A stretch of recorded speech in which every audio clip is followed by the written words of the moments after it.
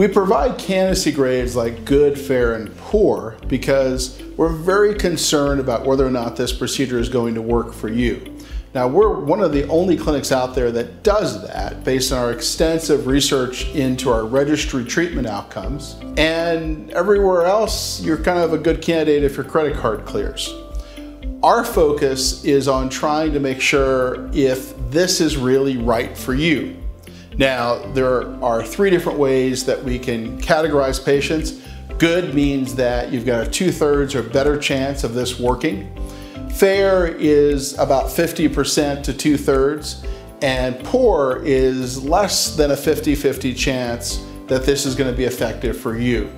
Now, there's no way we can tell exactly how you're going to respond because each patient is different, but we want to give you some idea of your odds that this is going to work before we pull the trigger on a procedure.